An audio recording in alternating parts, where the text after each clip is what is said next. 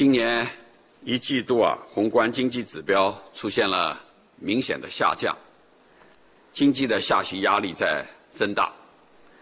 当前国际疫情持续蔓延，不确定、不稳定的因素啊在增长。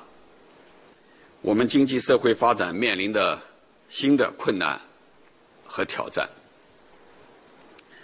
在前所未有的冲击面前，党中央、国务院及时出台了一系列对冲性的政策措施。有针对性的加大了逆周期的调节力度，切实帮助中小微企业啊渡过难关。总体而言，我国经济社会发展大局保持稳定。